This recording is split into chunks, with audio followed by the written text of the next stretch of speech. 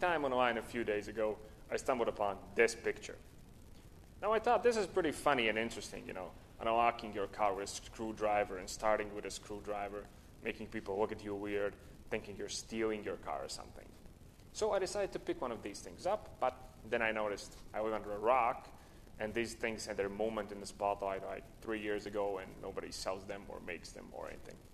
But I still wanted this thing. So I decided to make my own version. And here it is. And I also decided to do it the simplest way possible. So here's how. The first thing you're going to do is you're going to make a copy of your original key, obviously. You can set those aside. And you are going to buy a screwdriver. But don't just buy any old screwdriver, buy one of these. You see, these have two types of heads on them, and they have this handle. And you can easily insert and take out the handle.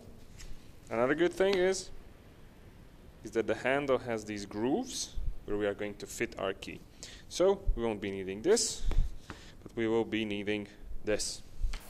The next thing you're going to do is you're going to get an angle grinder and you're going to grind away the entire part of the key that you usually hold with your hand when you are unlocking or starting your car all you want to have left at that part of the key is actually a little metal stop.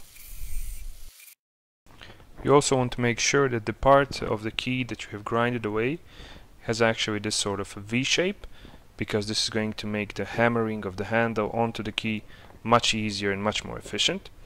Uh, this probably also goes without saying but you do not want to touch uh, this part of the key with the angle grinder or modify this part of the key in any way all your work is being done at the at the part of the key where the where the actual handle was.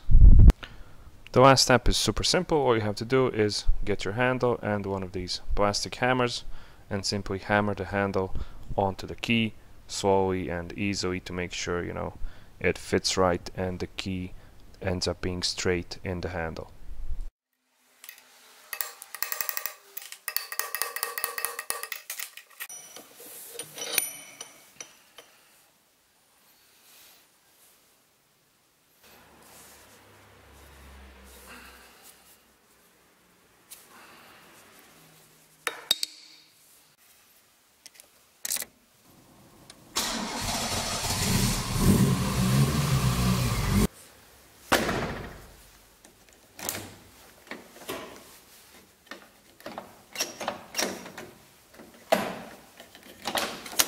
So there you have it. How to spend five minutes making something that's going to make people think you're stealing your own car and calling the cops on you. Yay! So that's it for this episode of, you know, car stupidity. Yeah, I could call these car stupidity probably. So that's it for this time. Thanks for watching. Don't forget the like button. Don't forget to subscribe. Thanks for. I already said thanks for watching, right? Yeah, thanks for watching. See ya.